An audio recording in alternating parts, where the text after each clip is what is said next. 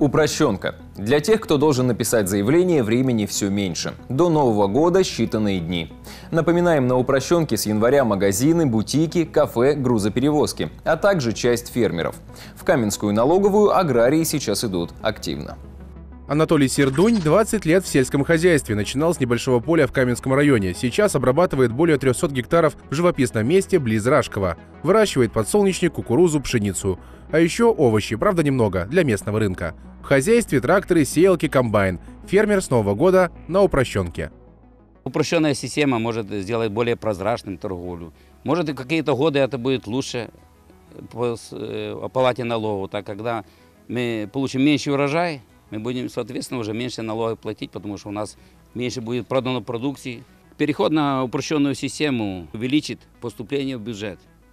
И, соответственно, сможет больше правительство располагать большим объемом денег и больше тратить на оплату социальных статей, и на строительство, и на поддержку больниц. В последние недели предприниматели тем, что с Нового года на упрощенку, идут активнее, говорят в Каменской налоговой, и в основном как раз фермеры. Конечно же, крестьянско-фермерское хозяйство у нас пока более активное. Чаще всего, ну, конечно же, переживают по поводу онлайн-кассы. Как это все будет работать, э, боятся, чтобы там не было допущена какая-то ошибочка. Разъясняем по мере заданных вопросов.